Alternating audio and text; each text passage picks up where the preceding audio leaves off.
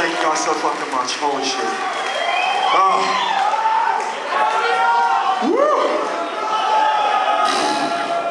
That's a fucking bedtime song. Shit. You, you want that one when you want to go to sleep? Shit. Oh. We still got a bit.